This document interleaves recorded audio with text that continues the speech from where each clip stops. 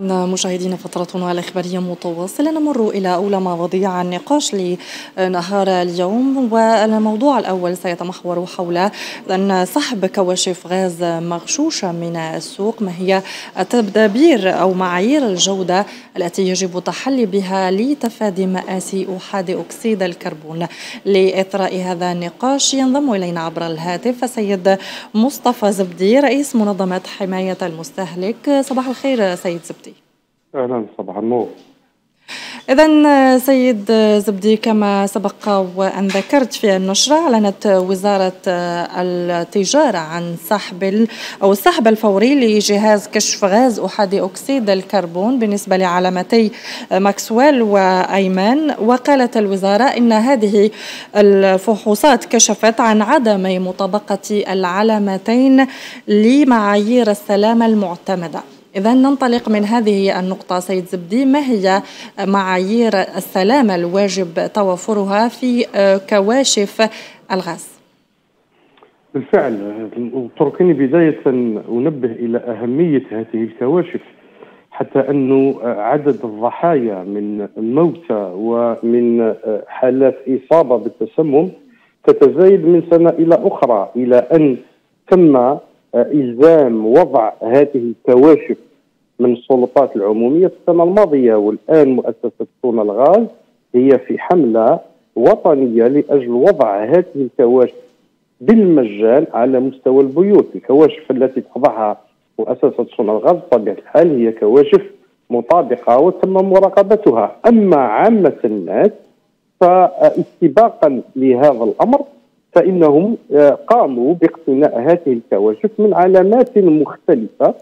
آه، نحن كمنظمة منذ سنتين يعني قمنا بقياس بعض الكواشف التي كانت موجودة في السوق وللأسف يعني آه، اندهشنا لهذه الكواشف التي تأتي تدخل التراب الوطني بدون رقابة وبدون مطابقة، الآن نحن مصورون يعني لبيان وزارة التجارة أن هنالك رقابه في هذا المجال لازم نعرفوا أنه هذه الكواشف ولو أنها جاءت صغيرة ولكن فيها معايير.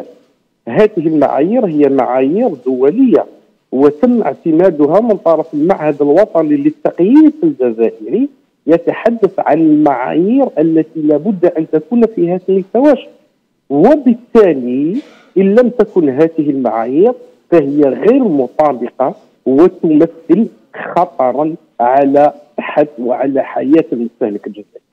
نعم ربما سيد زبدي انطلاقا من هذه المعطيات هل يجب اليوم على كل مواطن أو رب أسرة أن آه، يكون لديه كاشف يعني تحت إشراف مباشر من وزارة التجارة يعني هل اليوم نحن آه، سنتفادى شراء آه، كواشف خارج إطار وزارة التجارة هو من المفروض أن الإنسان لما يذهب إلى محل من المفروض أن يجد كل المنتوجات مطابقة لأنها خاضعة إلى الرقابة الأولية رقابة إما المصنع الجزائري أو المستورد الذي يقوم بتسويقه من المفروض هذا هو الأمر.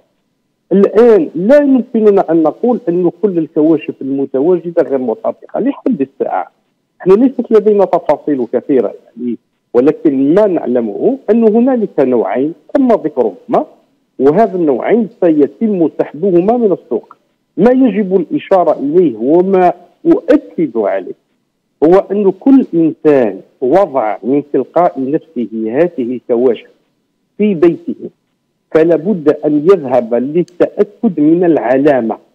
إذا ما وجد أن العلامة التي وضعها هي من العلامتين التي جاءتا في بيان وزارة التجارة فعليه أن يسحب ذلك الكاشف من بيته لأنه الخطر كبير. نقول لك أين يكمن الخطر؟ إحنا لما طالبنا بوضع هذه الكواشف هي لأجل حماية نفس المستهلك الجزائري من خلال الإنذار المبكر بوجود تسربات غاز أحادي أكسيد الكربون. بمعنى إذا كانت المدفأة تاعك ماهيش مليحة ذلك الكاشف يعني يقوم بجهاز إنذار اما عن طريق الضوء أو عن طريق الصفاره باللي كاين غاز احادي أكسيد الكربون عليك بتهوئه البيت. الان إذا كانت هذه الكواشف غير مطابقة واش معناه؟ يعني ما رايح ما راحش تمشي ما راح لا يشعل الضوء ما راح تطفر زد على ذلك من يضع الكاشف الآن فإن درجة اليقظة تاعو تنقص يقول لك راني واضح كاشف وبالتالي يطمئن. إذا ما نقصت درجة اليقظة تاعو وبالتالي هذا الكاشف غير مطابق فإن هنا يعني آه، آه، حالات الخطر تتضاعف.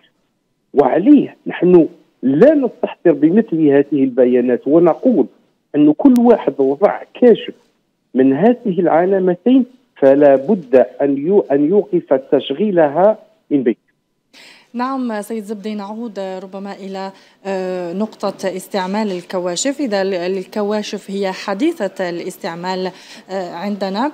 آه، هل لديكم ربما معلومات حول يعني نسبة ربما لإقبال المواطنين على اقتناء هذه الكواشف ووعيهم بضرورة وجودها في بيوتهم؟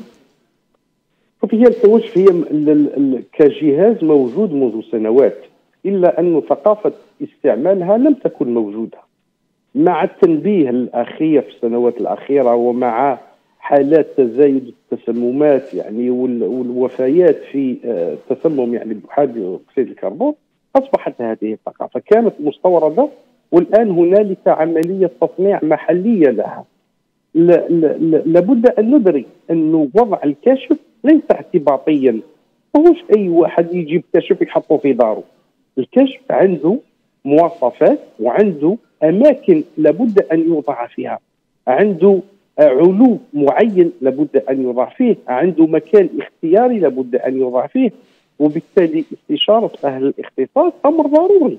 ماشي يروح يشري لي انايا كاشف وحدي اكسيد الكربون راح يحطه في غرفة النوم. ما عنده حتى معنى اذا لابد أن يكون هذا الكاشف بمقربة من إمكانية تسرب هذه الغازات السامة وبالتالي يطلق جهاز الإنذار.